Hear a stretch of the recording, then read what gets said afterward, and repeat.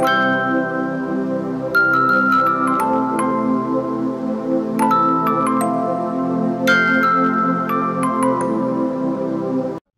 mừng quý vị và các bạn đã đến với bản tin dự báo thời tiết ngày hôm nay và ngày mai.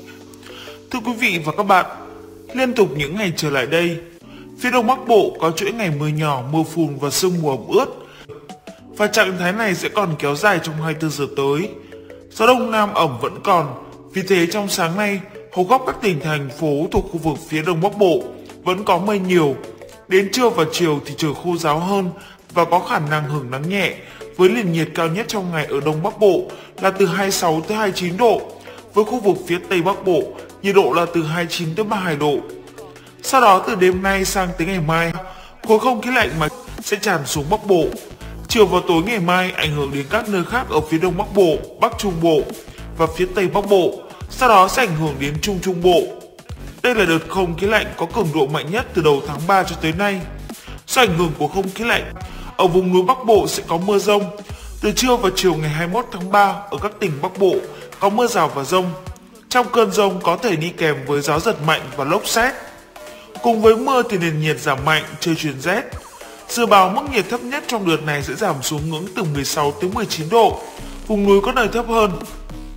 Thì ở miền Trung thời tiết lại khá tương đồng. Trong đêm qua và sáng nay, hầu như không nơi nào có mưa và trưa nay thì trời lại có nắng từ sớm. Nền nhiệt cao nhất dọc Thanh Hóa tới Bình Thuận trong ngày đều có chung mức nhiệt cao là từ 29 tới 32 độ. Tuy nhiên cũng từ ngày mai, do ảnh hưởng của gió đông bắc kết hợp với địa hình nên tại khu vực Bắc và Trung Trung Bộ cũng sẽ xuất hiện và gia tăng mưa rào và rông. Cục bộ có những điểm sẽ có mưa vừa mưa to và rông. Trong cơn rông, người dân cũng nên đề phòng các hiện tượng như lốc xét và gió giật mạnh. Ở phía Nam, khu vực Nam Bộ và Tây Nguyên trong hai ngày cuối tuần với thời tiết vẫn phổ biến là ít mưa.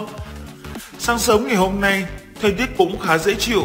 Trời rét nhẹ ở vùng cao nguyên với mức nhiệt dao động từ 18 tới 21 độ. Còn tại Nam Bộ, thời tiết cũng mát mẻ với mức nhiệt dao động từ 22 tới 25 độ. Nắng nóng chỉ xuất hiện cục bộ ở một vài nơi ở miền Đông với nền nhiệt cao nhất ngày dao động từ 35 đến 36 độ. Và tiếp theo sẽ là phần dự báo chi tiết thời tiết các vùng trên cả nước. Mời quý vị và các bạn cùng theo dõi. Khu vực Hà Nội, nhiều mây đêm và sáng có mưa phùn và sương mù, gió đông nam cấp 2, cấp 3. Nhiệt độ thấp nhất từ 22 tới 24 độ, nhiệt độ cao nhất từ 26 tới 28 độ. Phía Tây Bắc Bộ, nhiều mây có mưa vài nơi, sáng sớm có sương mù, trưa chiều giảm mây trời nắng. Riêng khu vực Tây Bắc có mây, đêm không mưa ngày nắng, có nơi có nắng nóng, gió nhẹ. Nhiệt độ thấp nhất từ 21 tới 24 độ, có nơi dưới 20 độ. Nhiệt độ cao nhất từ 26 tới 29 độ. Riêng khu Tây Bắc là từ 31 tới 34 độ, có nơi trên 35 độ. Phía Đông Bắc Bộ, nhiều mây đêm và sáng có mưa phùn và sương mù, gió Đông Nam cấp 2, cấp 3. Nhiệt độ thấp nhất từ 21 tới 24 độ, vùng núi có nơi dưới 20 độ. Nhiệt độ cao nhất từ 25 tới 28 độ. Các tỉnh từ Thanh Hóa đến Thừa Thiên Huế, nhiều mây có mưa vài nơi, sáng sớm có sương mù và sương mù nhẹ. Trưa chiều giảm mây trời nắng, gió nhẹ.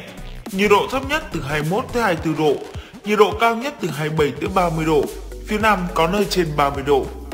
Các tỉnh từ Đà Nẵng tới Bình Thuận, có mây đêm có mưa rào vài nơi ngày nắng, gió đông bắc đến đông cấp 2 cấp 3. Nhiệt độ thấp nhất từ 22 tới 25 độ, nhiệt độ cao nhất từ 30 tới 33 độ.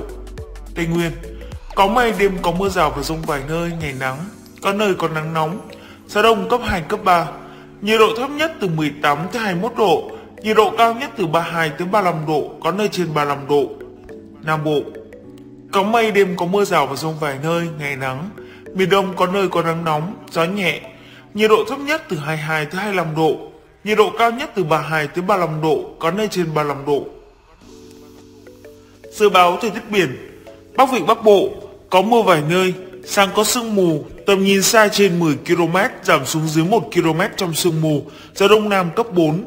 Nam Vịnh Bắc Bộ có mưa vài nơi, sáng có sương mù, tầm nhìn xa trên 10 km, giảm xuống dưới 1 km trong sương mù, gió đông nam cấp 4. Khu vực biển từ Quảng Trị tới Quảng Ngãi có mưa vài nơi, tầm nhìn xa trên 10 km, gió đông nam cấp 3 cấp 4. Khu vực biển từ Bình Định tới Ninh Thuận không mưa, tầm nhìn xa trên 10 km, gió đông bắc đến đông cấp 3 cấp 4. Khu vực biển từ Bình Thuận tới Cà Mau không mưa, tầm nhìn xa trên 10 km, gió đông bắc đến đông cấp 4. Khu vực biển từ Cà Mau tới Kiên Giang, không mưa, tầm nhìn xa trên 10 km, gió nhẹ. Bắc Biển Đông, có mưa vài nơi, tầm nhìn xa trên 10 km, gió Đông Bắc đến Đông cấp 4. Quần đảo Hoàng Sa, có mưa vài nơi, tầm nhìn xa trên 10 km, gió Đông Bắc đến Đông cấp 4. Vùng giữa Biển Đông, không mưa, tầm nhìn xa trên 10 km, gió Đông Bắc cấp 3, cấp 4. Vùng Nam Biển Đông, có mưa rào vài nơi, tầm nhìn xa trên 10 km, gió Đông Bắc cấp 3, cấp 4. Quần đảo Trường Sa, có mưa rào vài nơi, tầm nhìn xa trên 10 km, gió Đông Bắc cấp 3, cấp 4. Vịnh Thái Lan, có mưa rào vài nơi, tầm nhìn xa trên 10 km, gió nhẹ. Bản tin dự báo thời tiết ngày hôm nay của chúng tôi đến đây là hết. Cảm ơn quý vị và các bạn đã dành thời gian theo dõi. Xin kính chào tạm biệt và hẹn gặp lại.